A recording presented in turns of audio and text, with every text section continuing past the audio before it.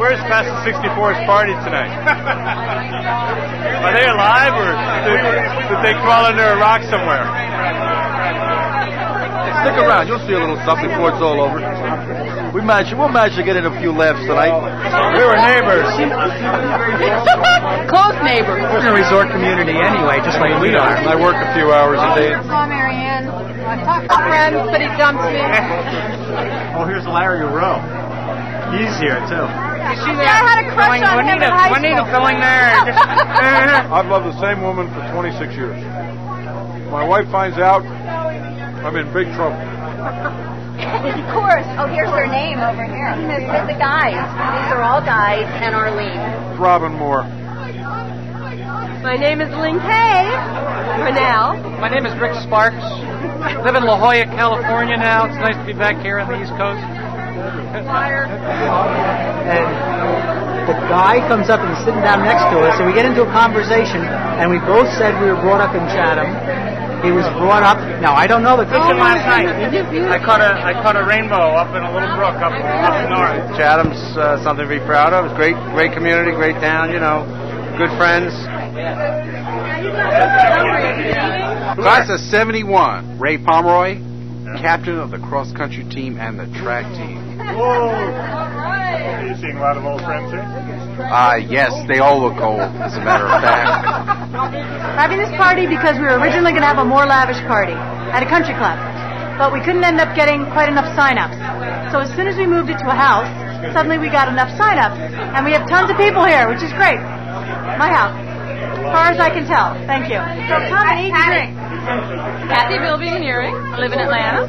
Class 71. Grew up down the street. Live in Atlanta, Georgia. No, no, thank you very much for asking, though. Actually, I knew the homecoming queen once. Yes, yes. She's not here. I'll give him another hug. It was actually a mission. We had to sprinkle the ashes of her father on, On Memorial Field. No, I'm a, I'm a spouse. I'm class of 64, Barringer High School.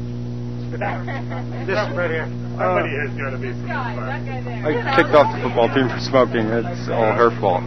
So you gave it up? No, yeah, right. I gave it up. You know, when you get middle age, you kind of notice these things creeping up on you. You have this sudden craze to play golf. I don't know why. It's hormonal, I guess. And then finally, you have this penchant for Hawaiian shirts.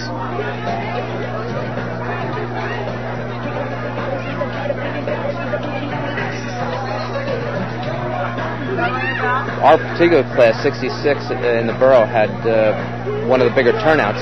We had well over 100 people at the class party, and, and it was so good to see so many faces, some I hadn't seen for 20, 30 years.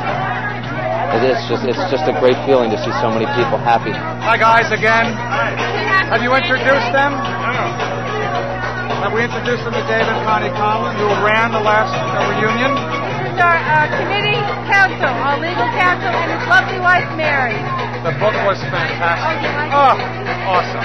What are you renowned for? I'm renowned for painting uh, cows, Ben and Jerry's ice cream cows, and uh, Woody Jackson cows. You're living where do you go? I'm in Middlebury, Vermont. Not a great one. That's right. How you doing? Thanks, Carol.